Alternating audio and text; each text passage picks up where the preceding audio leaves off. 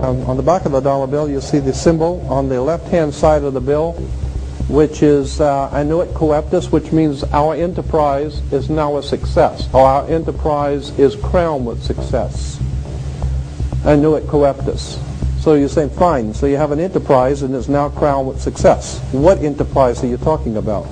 Novas ordo seclorum. Novas is novus, meaning new. Ordo is order. And seclorum is where we get the word secular, meaning the world. So it's new order of the world. The new world order. George Bush's new world order is now it. The uh, triangle at the top with the light emanating from around it is Horus. The god of the ancient Egyptians, of course, this is an Egyptian pyramid. You don't find pyramids in America. You find them in Egypt. And that pyramid is the is uh, the symbol of the eye was in the Egyptian religion Horus, which was the newborn sun. Every morning when the sun came up, his name was Horus. There was um, that was the solar divinity in Egypt. Horus was God's son, the light of the world, who is risen. He is our risen Savior, our risen. And so Horus was referred to as God's son, and that's why the light is emanating from around, because it's the sun. The sun is a round eyeball of God the ancient Egyptians believed. The pupil of God was God was the sun, and He's watching you, and therefore the sun was was very bright. And so today we even say someone who is extremely intelligent is brilliant. They're bright. And that's why God is, of course, the most brilliant of all. Therefore, the sun is the most brilliant because it's God's eye. All right, anyway, there are 13 layers on the pyramid.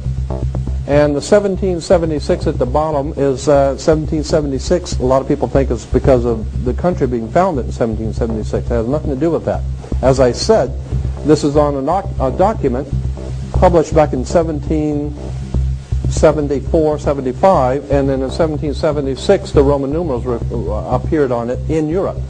So what it amounted to is that the 1776 was when this secret society actually formed itself into a secret society and put itself into operation.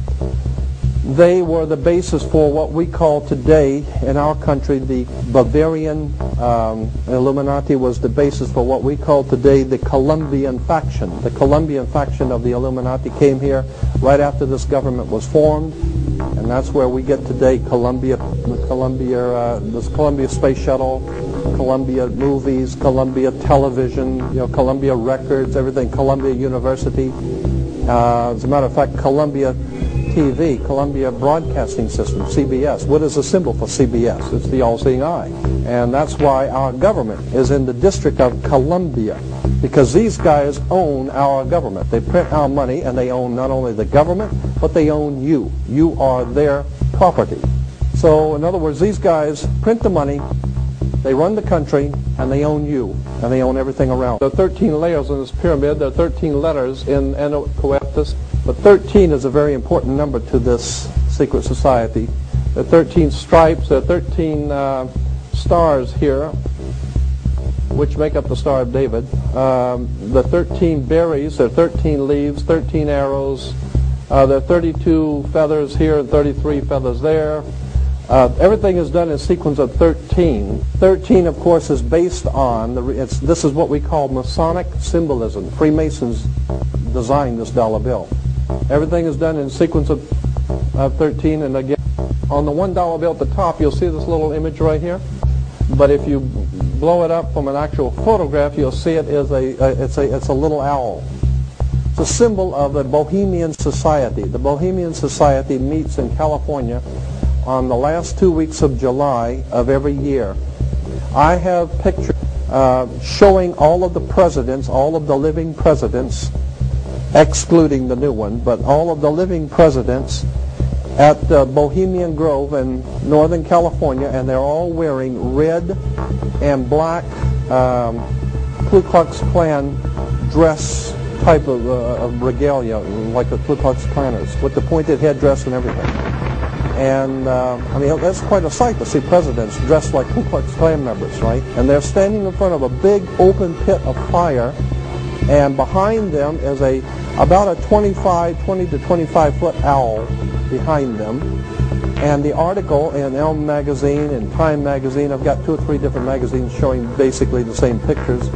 It says that the presidents meet with all of the heads of industry throughout the world, all of the heads of state throughout the world, and all of the most important wheeler dealers in this country, and they all meet up in Northern California, and they have they have uh, rituals where they go before the owl after midnight.